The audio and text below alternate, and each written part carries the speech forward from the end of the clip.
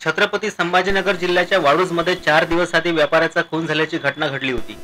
त्याचा उलगडा करण्यास शहर गुन्हे शाखेला यश आले आहे.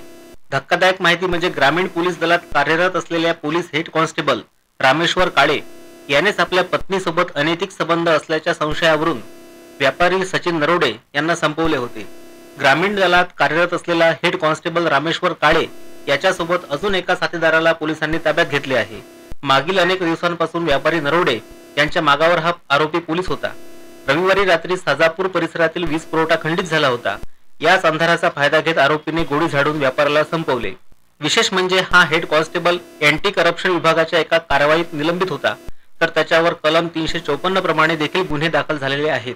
पोलिसांमधीलच हा गुंडा पोलिसांनी शोधल्याच्या घटनेची चर्चा सध्या संभाजीनगर शहरामध्ये सुरू आहे. सतरा मार्च रोजी अ, Sajapur शिवारामध्ये M I D C Waluj police स्टेशनच्या हद्दीमध्ये सचिन साहेबराव नरोडे यांचा एका अज्ञात आरोपींनी निर्गुणरित्या बंदुकीची गोळी झाडून खून केलेला होता. त्या संदर्भाने माननीय पोलीस आयुक्त लोहिया सर आणि क्राईम टीम तसेच M I D C Waluj police स्टेशनची team यांना तपासात सांघिकरित्या यश आलेले आहे. तर त्या तपासाचा उलगडा केला असता रामेश्वर काळे आणि लक्ष्मण जगताप या दोन आरोपींनी सचिन साहेबराव नरोडे नरोडे याचा खून केल्याची माहिती आमच्या प्राथमिकरित्या समोर आलेली आहे.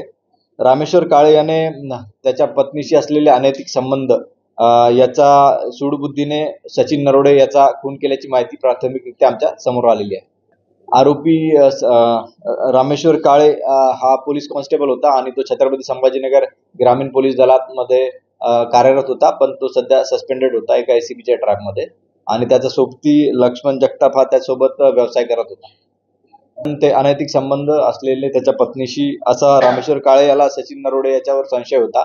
त्या संशयाच्या कारणावरून त्यांनी सचिन नरोडे याचा खून केला. ठळक घडामोडींसाठी देशोन्नती न्यूज चॅनलला सबस्क्राईब करा आणि बेल आयकॉन प्रेस करा. मुंबई पुणे नागपूर मराठवाडा असो का विदर्भ? राजकीय सामाजिक शैक्षणिक क्षेत्र असो का क्रीडा? सर्वच घडामोडीचे विश्लेषण पाहायला विसरू नका. फक्त देशोन्नती न्यूजवर.